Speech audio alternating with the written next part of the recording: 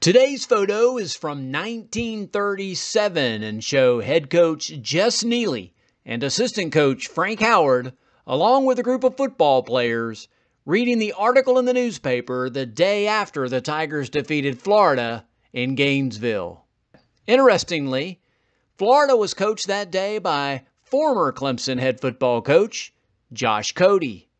Cody left Clemson in 1931 to coach at Vanderbilt and eventually became the Florida head coach in 1936.